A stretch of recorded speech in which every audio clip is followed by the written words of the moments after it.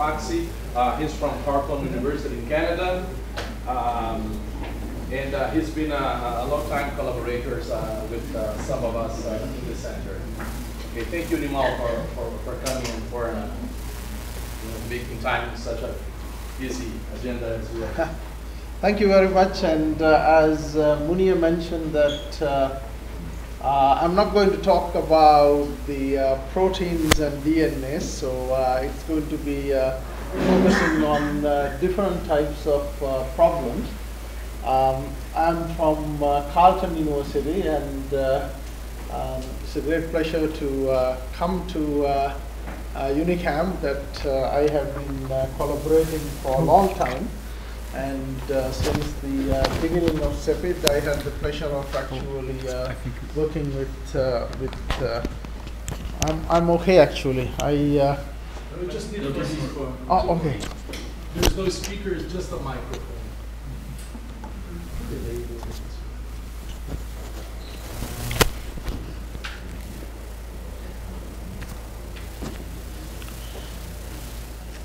We are recording the talks, so we're to sell. Is this okay? Huh? So, uh, for the last, I think, uh, three years or four years, I have had the pleasure of uh, attending this symposium every year.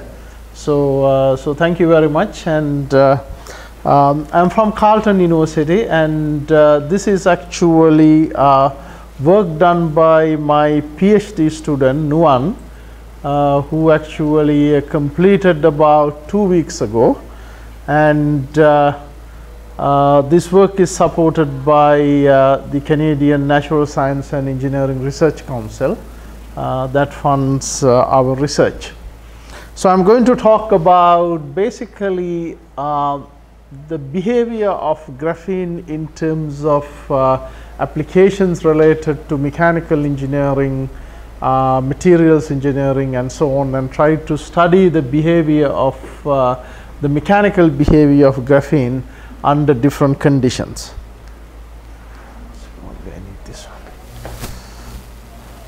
So this is uh, nothing new. You all know about this uh, sort of, you know, a simple representation. Uh, but the focus of our work is mostly focused on uh, on the uh, behavior of graphene and application to uh, different material systems. So in terms of graphene, we all know that uh, you know they have a fairly uh, superior strength compared to uh, uh, most other materials.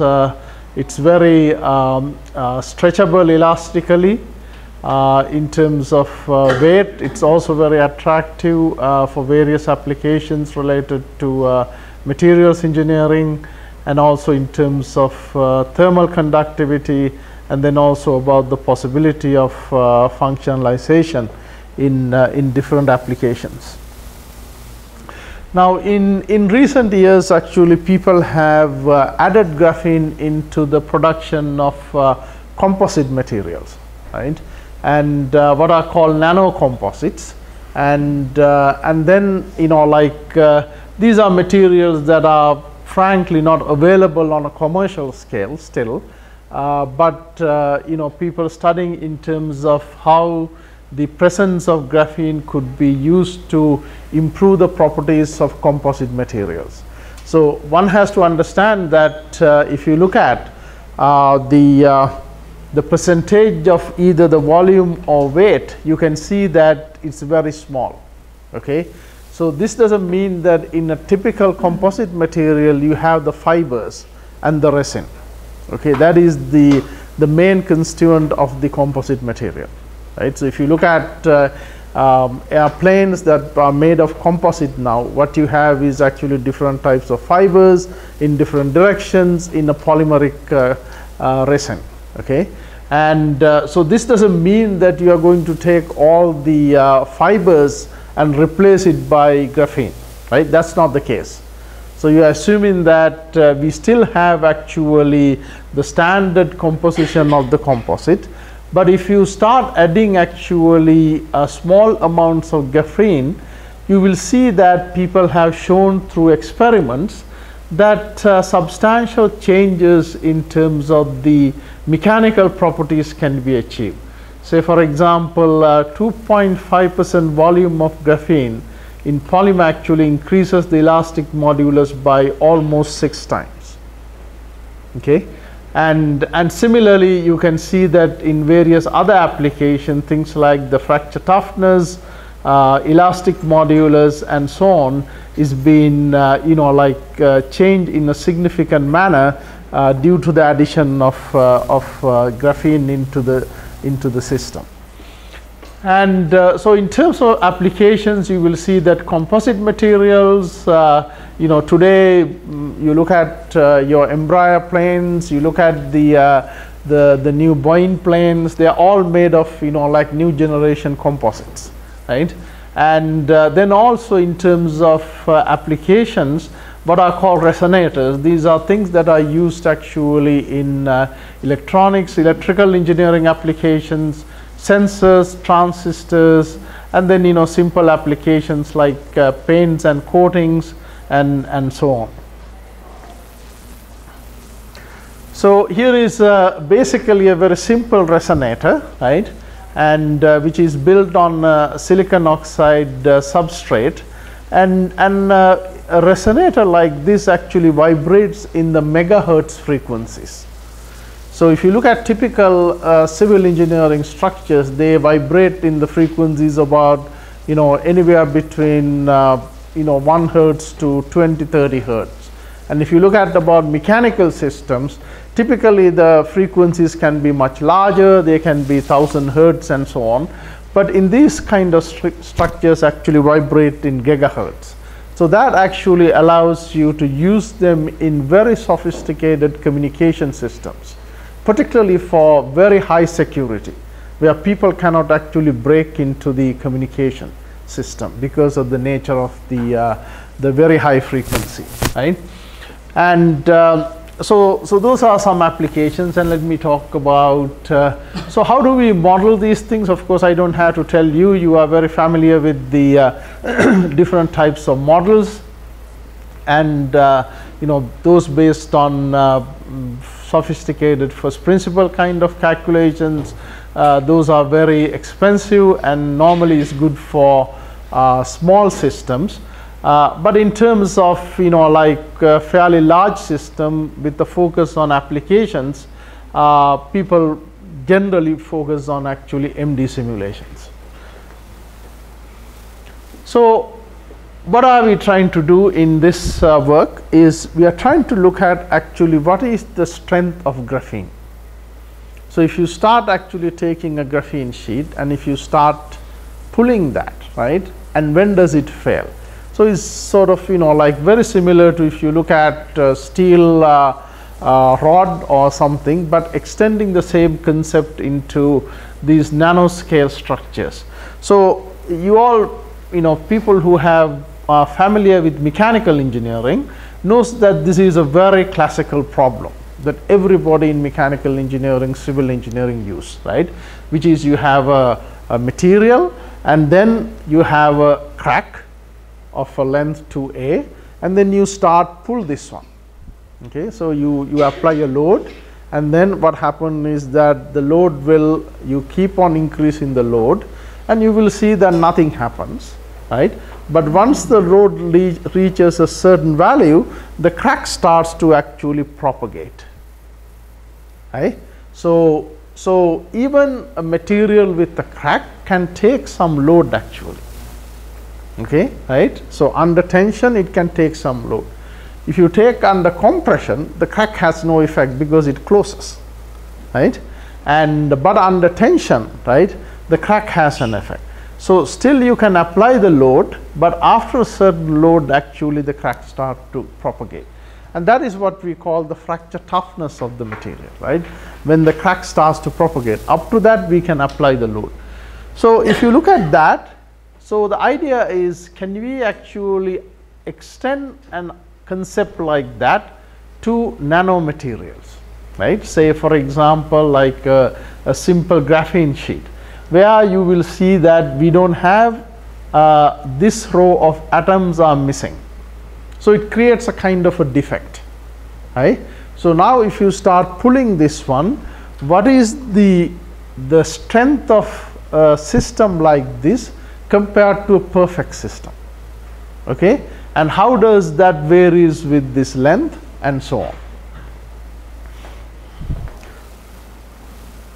So our objective is actually to develop some atomistic, right, models that we can simulate and understand the behavior of structures like this.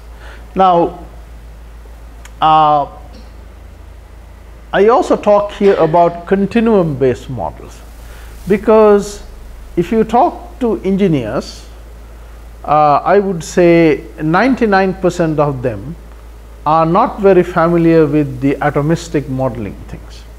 They are more familiar with continuum type of model, uh, you know things like the simple beam, right? And uh, so, can we actually take some of these ideas from the atomistic modeling and develop simple continuum models? Because a continuum model, you don't need actually MD simulator sometimes you can actually take a simple calculator right and then get a result right now the reason we want to do that is that because if you do it into real applications right people are not very interested about accuracy of 1% 2% you know when this building was designed right so you are in this building you have a reinforced concrete uh, frame and everything, right? There is a safety factor of about 2 or 3. So, this building is designed actually this flow is designed for almost 2 or 3 times of the people who would normally occupy, right? So, when you have systems that are designed with very high safety factors, right? We are not interested in simulations that are extremely accurate, right? The simulations very highly accurate simulations are good, right? But in terms of the actual design, because of the safety factors involved, right, we really don't need very high accuracy. So what we try to do is we know that we can be fairly accurate here, but we try to see whether we can actually come up with models that are not computationally very expensive, but still very reasonable. So first I will talk about some atomistic modeling of strength, right, under different situations. And then also we will talk about what really happens in systems like composite materials, where you have two material systems interacting, right. So here is one case, okay. So there's a lot of interest in terms of uh, you know the interaction between graphene and hydrogen, right? So people who are talking about fuel cells and various other types of applications talk about you know like interaction between even in terms of storage of hydrogen, right? And and then what happens, right? So in some of these applications, uh, for example, in fuel cells and so on uh, we are very interested in also in terms of the strength because if you look at in a fuel cell, the, the biggest uh, uh, issue with respect to uh, uh, reliability is actually the membrane failure. Okay. So, so here is a very simple simulation where I have a graphene sheet, right, and then we have some hydrogen adatoms, okay, and then we try to understand actually in the presence of hydrogen what is the strength of a graphene sheet. And the presence of hydrogen actually changed the hybridization of the, uh, uh, the hydrogen atoms. So here is a MD simulation. We use LAMMPS, okay, uh, to uh, to simulate this one. And uh, so what you have is here is the pristine sheet. So that means there is no hydrogen, okay? And I have a pristine sheet, I am pulling in one direction, periodic boundary conditions in the other directions, and I pull it until you know keep on increasing the strain. Right? So you are increasing the load the strain keep on increasing. So you can see that we have a stress strain relationship like this right and it increases and then after that the sheet basically collapse the bonds breaks, okay, the you can see a fairly brittle type of failure, right? The initial bond breaking actually starts somewhere here, right? If you expand this, you can see that it is not as smooth as there, right? And uh, you can see some some of those things there actually, right? And then you can see a sudden brittle failure.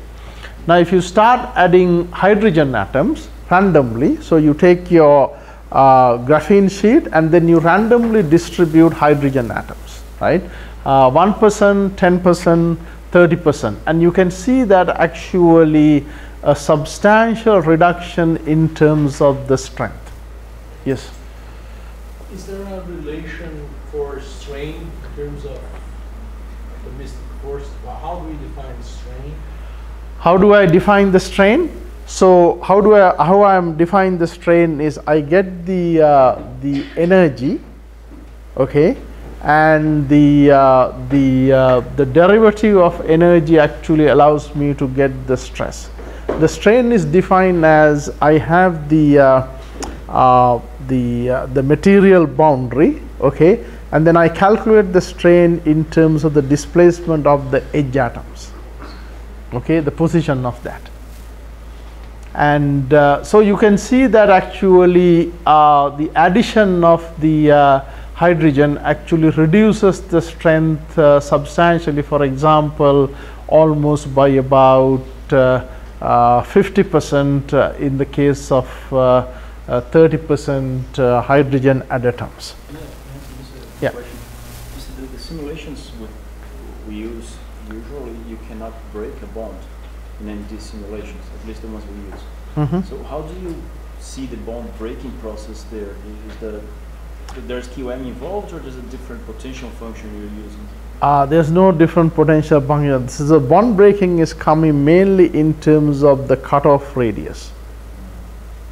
Okay, So, so bond breaking is interpreted like if you take LAMMPS, right? Okay, you can see actually bond breaking in the LAMMPS, right? Because the interaction between certain atoms actually no longer works.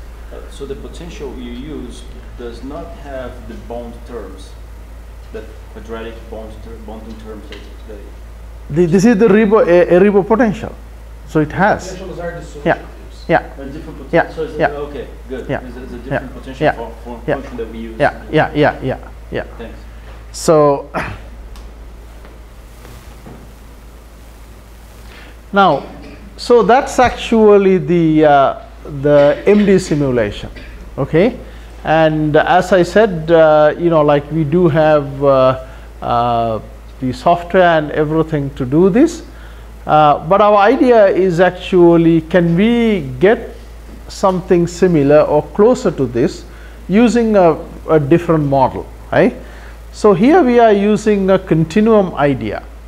A continuum idea is what is called the Bailey principle, which says that the material fails, the failure of a material can be expressed by an equation like this, which involves a durability function. Okay, the durability function you can determine actually experimentally, and TF is the time to failure. Okay, so it has temperature, right, and time, and then this function is determined experimentally. So what we do is we take this function and we assume the durability function can be represented in the using an Arrhenius formula, right? And then uh, this is the classical Arrhenius formula. So we take a variation of this one and we apply this into uh, a graphene system. So essentially we say that this is the Arrhenius formula. We define the, uh, the durability function in this form. So it's very similar to that, right?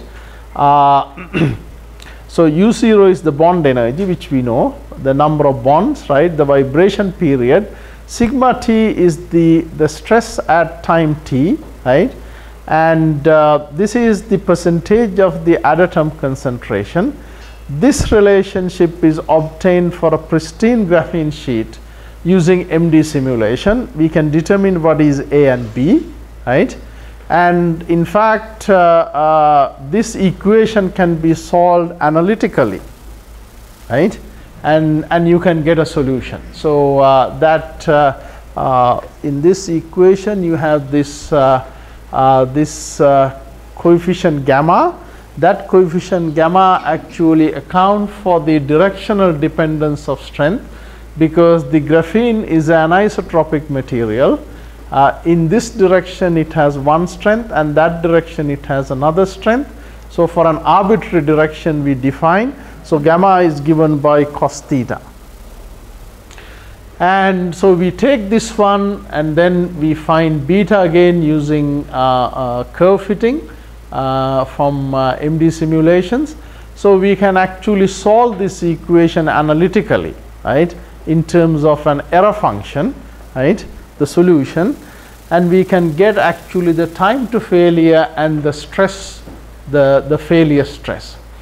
So you can see that this is my actually uh, pristine uh, uh, graphene solution. Okay, and this is the solution I get from 1% uh, H adatoms MD, right? 10%, 20% at different temperature. What is the strength? So you can see that I can, for all practical purposes, right, I can develop a continuum type equation, right, using the ideas of continuum mechanics, okay, to simulate actually the behavior of a graphene sheet at different temperatures and to predict actually the strength of that in the presence of hydrogen ad adatoms. So here is another one, uh, very similar thing actually uh, uh, strength for a zigzag sheet armchair because the orientation uh, affects the uh, the uh, the strength. And this is very interesting. So you can see that the model we develop is 10 to the power 6 times faster than MD okay? So so is basically an idea from the traditional continuum mechanics extend into these type of structures using some of the knowledge that we have derived through MD simulation right and here is actually another view graph uh, a contour plot of the variation of strength as a percentage of hydrogen concentration and temperature. This is the uh, plot of stress and then we actually take again uh, idea from the uh, quantized fracture mechanics okay this is the crack I showed you uh, you can actually calculate the failure strength okay, uh, in the presence of a crack. Now the, uh, the previous one I worked actually had no crack. It was a perfect, uh, perfect graphene sheet. Uh, the only difference there was we had hydrogen adatoms uh, that changed the, the strength properties. Now here I have actually a crack and in the case of a crack I can extend my understanding of coming from continuum mechanics into develop an equation like this which is actually the extension of the standard Griffith formula uh, which is almost 100 years old. And uh, again using a similar things using the Arrhenius type of uh, uh, uh durability function uh, I can solve the, the, the system again right and now I can actually get comparisons like this. So you can see I have a, a crack of about 7.3 angstroms.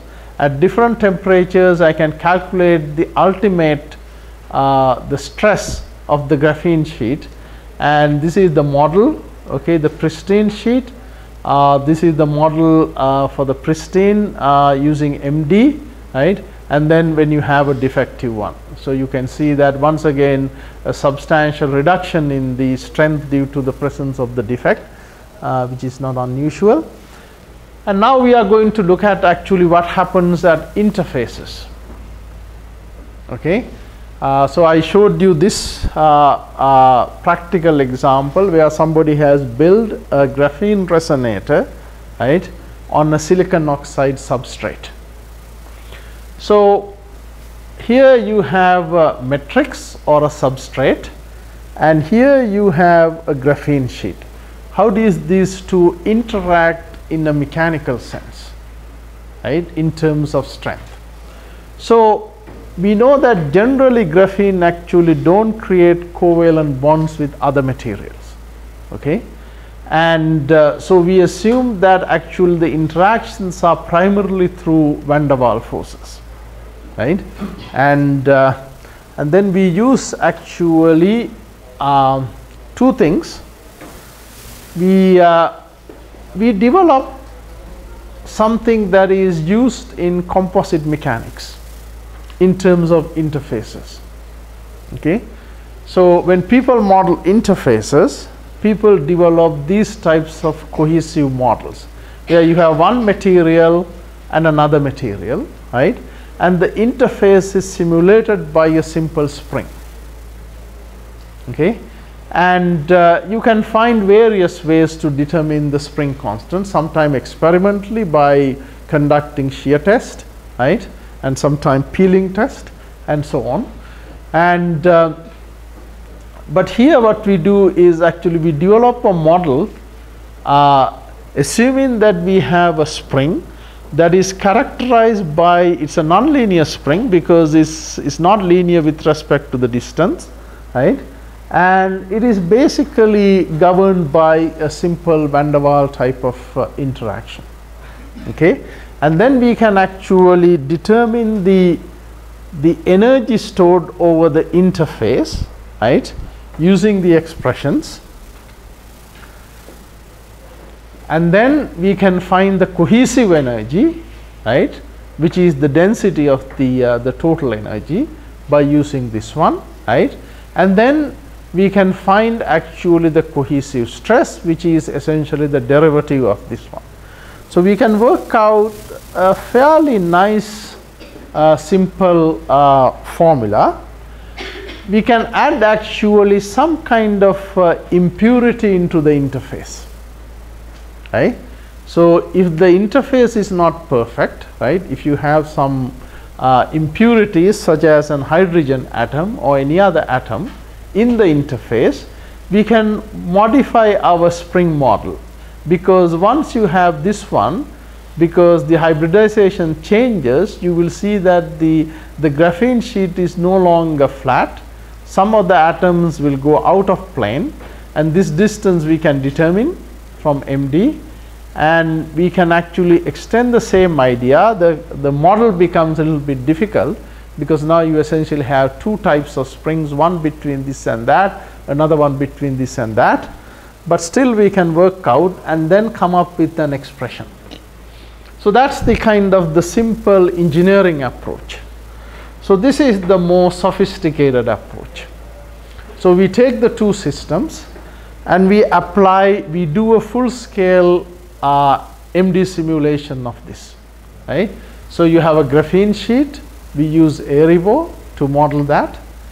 We have silicon oxide box, right. We use Tersoff to model that, right. And then if we have any adatoms and so on, like here, we are we use simply the van der Waals Lennard Jones types uh, interactions. We did this is very expensive. Okay, so we did actually energy calculations at different distances. Okay, and once you do the energy calculation at different distances, you can plot it. You can take the derivatives, then you can calculate cohesive energy and so on of the yeah. And, and the interaction between graphene and, and uh, silicon oxide is from your? Hmm? Or, or is there a No, this is the interaction interaction between the, the, the graphene and silicon oxide is simple van der Waals forces. Okay, but from, from the atomistic, uh, Uh, from the atomistic, yeah, right? So this is full, this is, we are not using any approximation. It is important to model the, the fluctuations of the positions of the silica atoms there, or they can be considered really? We actually, in the model, if you go back to the model, right? If you go back to the model, I am assuming actually it is rigid. It's rigid. Yeah. Because in the model I have no way of in the simple continuum model, I have no way of actually accounting for that, right? but in the simulation they are moving. In the MD simulation, they are moving, right?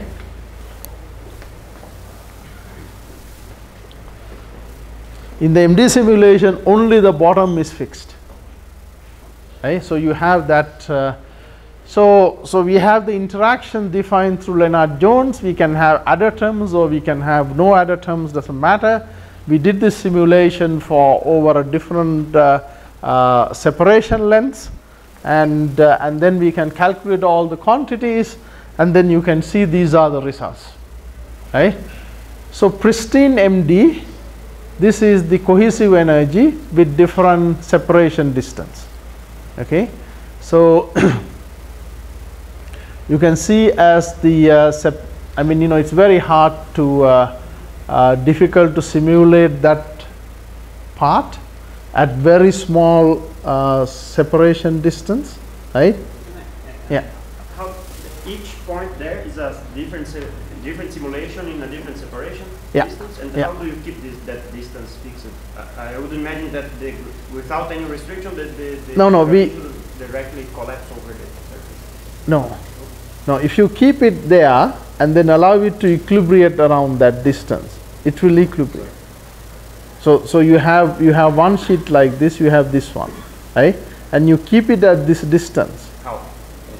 Just leave it there, right? And then leave the uh, the the interfacial forces, right? Okay, and then it will equilibrate around that distance. It doesn't collapse. They think they fix the, the, fix the layer. Fix the layer, top layer. Ah, okay. Yeah, Top yeah, layer is yeah. Top layer is Ah, okay. fixed, right? And so you can see that you know like around this side, uh, it's it's quite challenging calculations actually uh, because the gradients are very large, right? But as the distance is increased, you can see that uh, the system is uh, is much more stable and smooth, right?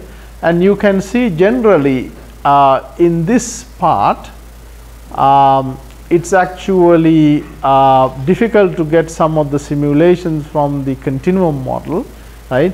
But generally at, uh, at distances like this, uh, the model and the, uh, uh, the MD simulation uh, show very good, very reasonable agreement, right? And the, and the results we got from this model uh, we also actually compare with some of the experimentally reported results. People have actually done some simple experiments. Now, the problem is that in the experiments, the, the reported results are so different. Right? The variation between the, uh, the measured uh, uh, cohesive uh, energies between the two surfaces vary from almost like you know four to five times between different experiments because I think the conditions are very difficult to control.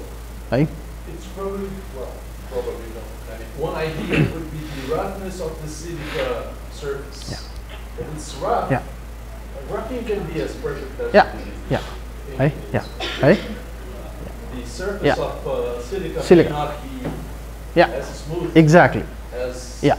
Right?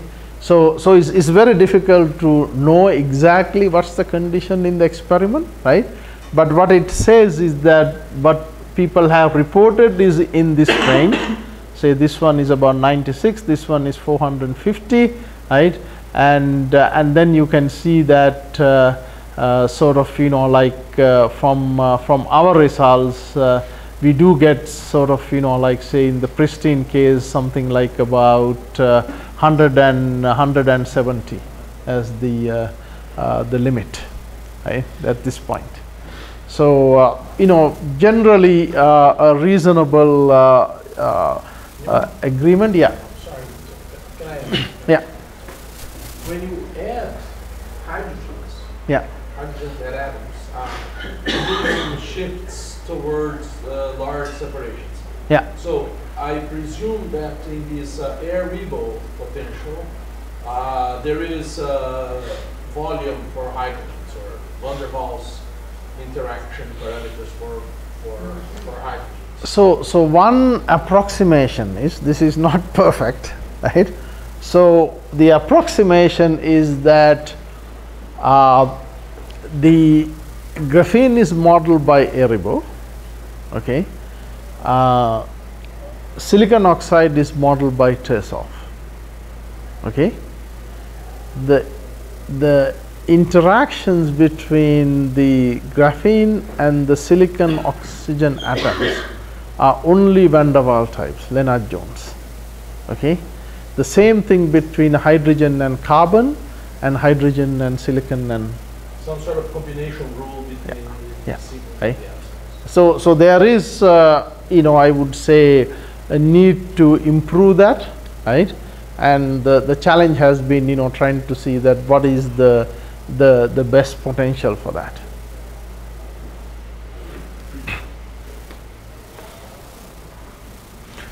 So as you can see that uh, what we have done is we have uh, extended some ideas from continuum uh, uh, models which is basically the idea of the Bailey principle that uh, governs the failure of materials together with the Arrhenius formula uh, to come up with actually continuum type equations uh, that can give fairly reasonable agreement with uh, MD simulations.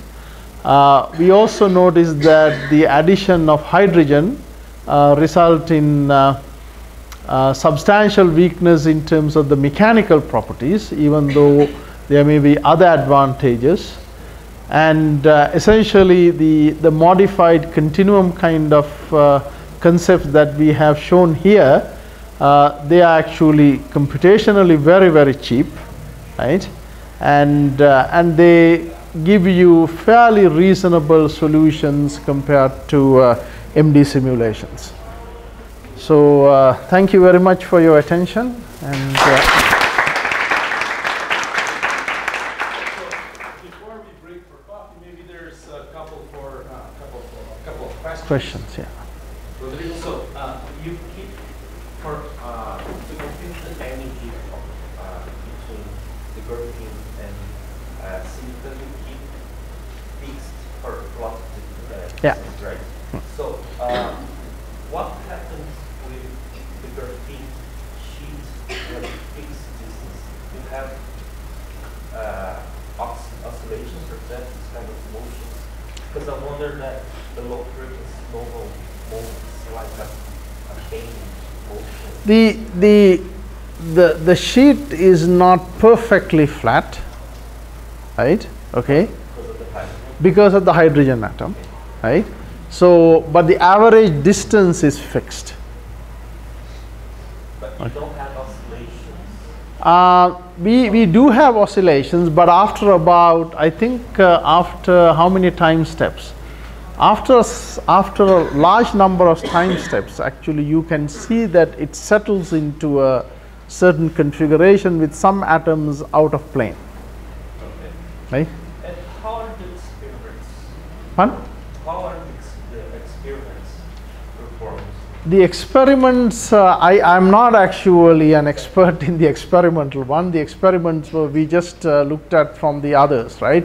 So the basically what they what they have done is like uh, peeling test.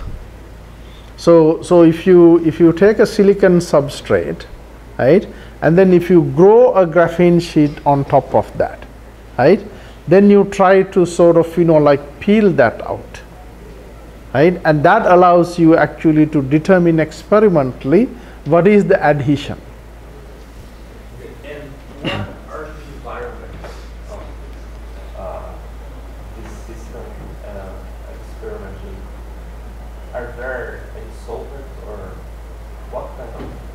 I i i'm i'm, I'm, I'm I, I cannot i cannot tell you exactly. I don't remember that actually. Yeah. Have. Yeah the the the, the two papers actually i i referred to the two papers here right and that you will find all the details there Yeah. I don't think it is in solution. Yeah, probably it's In air, most of yeah time.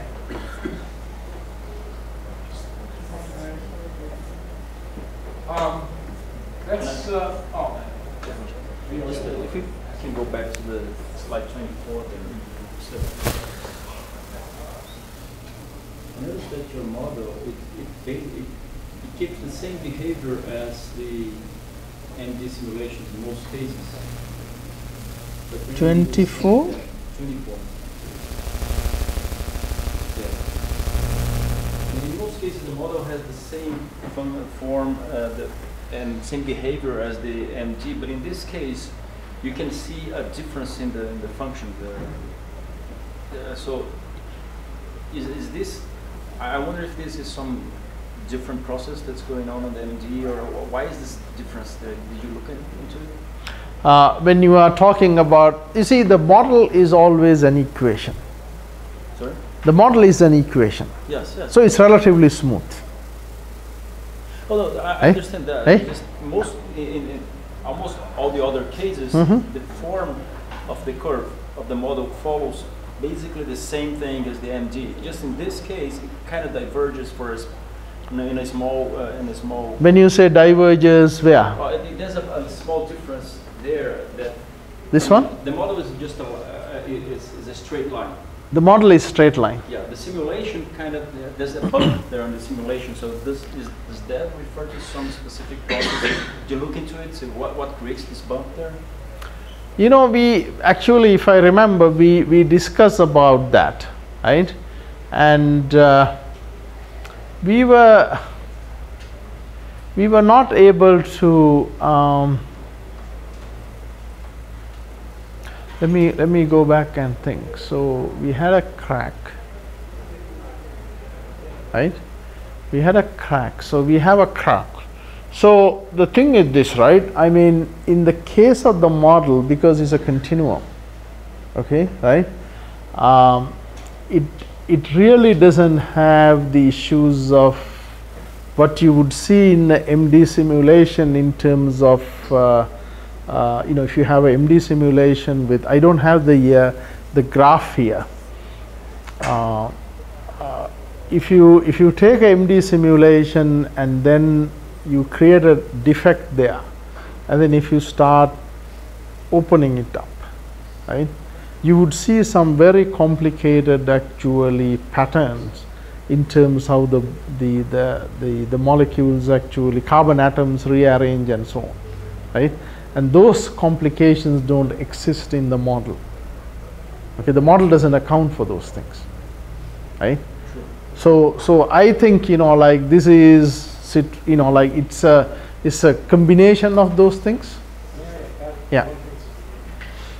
I- This is, we have a crack, right? And then you, you have to do many, many, many times this experiment in order to get an average of the behavior. So sometimes the crack will propagate like this, the crack will propagate like that, um, in, in the, in the simulation. So it's just like you, uh, lack of statistics is most likely the reason for it. Because um, I, you- I don't think that you have done hundreds and hundreds of no no. So we we like say when i show that point right that is about typically an average of about four to five simulations around that right? Okay? But they are, they are, they are there's not such a huge scatter right? So if i if i show you these values the md simulations they would be like something like this right Well, thank you very much, Nimal. That's, uh, okay thank you